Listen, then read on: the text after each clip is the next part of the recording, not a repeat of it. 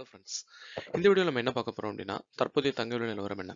So US trading session முடிவில் gold price என்ன update இருக்குது நாளைக்கு மார்க்கெட்டில் என்ன ப்ரைஸ் அப்டேட் இருக்கிறதுக்கான சான்ஸ் இருக்குது எந்த மாதிரியான எக்கனாமிக் இன்ஃபர்மேஷன் நம்ம கவனிக்கணும் அப்படின்னு பற்றின டீட்டெயில்ஸ் இந்த வீடியோவில் பார்க்க போகிறோம் வீடியோக்கு போகிறதுக்கு முன்னாடி சேனல் யாராவது சப்ஸ்கிரைப் பண்ணலாம் சப்ஸ்கிரைப் பண்ணுங்கள் அப்போ தான் நான் போட வீடியோஸ் தவறாமல் உங்களை வந்து சேரும்.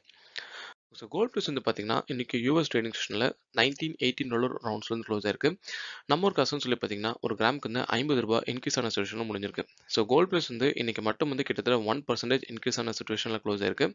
ஸோ மார்க்கெட் ஓப்பனிங்கில் வந்து பார்த்தீங்கன்னா ப்ரைஸ் வந்து ஓரளவுக்கு ட்ராப் பண்ண மாதிரி தான் இருந்துச்சு. அதுக்கப்புறம் வந்து யூஎஸ் ட்ரேடிங் செஷன் ஆரம்பிக்கும் போது ப்ரைஸ் ரொம்பவே அதிகமாக இன்க்ரீஸ் ஆகி ஒரு கிராமுக்கு வந்து கிட்டத்தட்ட எழுபது ரூபாய்க்கு மேலே இன்க்ரீஸ் ஆன சுச்சுவேஷனில் ட்ரேட் ஆகிட்டு இருந்துச்சு.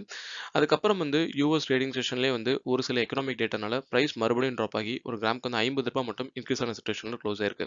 ஸோ மேலும் வந்து அடுத்த நாள் வந்து பார்த்தீங்கன்னா அதாவது நாளைக்கு வந்து இந்த ப்ரைஸ் வந்து மேலும் கொஞ்சம் ட்ராப் ஆகும் அப்படின்றது வந்து எக்ஸ்பெக்டேஷன் ஸோ இதுக்கு அடுத்து நம்ம சில்வர்னு சொல்லி பார்த்தோம் அப்படின்னா twenty one point seven dollar ஒரு ரவுண்ட்ஸ்லேருந்து க்ளோஸ் ஆயிருக்கு.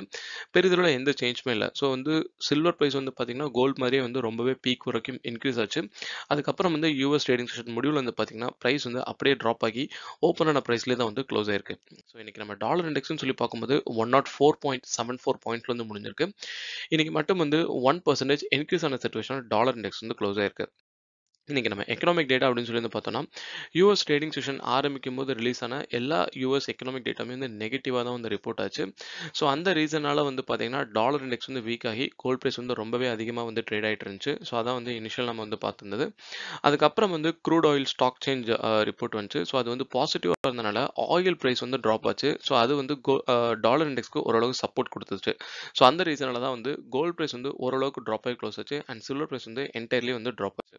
ஸோ இப்போ இந்த ப்ரைஸை வந்து சேஞ்ச் பண்ணுற மாதிரி நாளைக்கு மார்னிங் ஏதாச்சும் மேஜர் டேட்டா இருக்கான்னு சொல்லி பார்த்தீங்கன்னா ட்ரேடிங் டேட்டா எதுவுமே மேஜராக இல்லை. பட் ஆனால் வந்து டாலர் இண்டெக்ஸ் வந்து ஸ்ட்ரென்த்தாக இருக்கனால மேலும் வந்து கோல்ட் ப்ரைஸ் வந்து கொஞ்சம் வந்து ட்ராப் ஆகிறதுக்கு தான் சான்ஸ் இருக்குது ஸோ இது இல்லாமல் நாளையோட எக்கனாமிக் டேட்டா பொறுத்த வரைக்கும் பார்த்தீங்கன்னா ஜாப்ஸ் இனிஷியல் ஜாப்லெஸ் கிளைம்ஸ் தான் வந்து நம்ம வந்து முக்கியமாக கவனிக்கணும். அண்ட் அது வந்து ஃபோர்காஸ்ட் படி வந்து பார்த்தீங்கன்னா டாலர் இண்டெக்ஸ்க்கு சப்போர்ட் பண்ணுற மாதிரி இருக்குது ஸோ ஆக்சுவல் நம்பர்ஸ் என்ன வருது அதன் அடிப்படையில் எப்படி ப்ரைஸ் மூவ்மெண்ட் இருக்குது அப்படின்னு டீட்டெயில் நம்மளோட அடுத்தடுத்த வீடியோஸில் பார்க்கலாம்.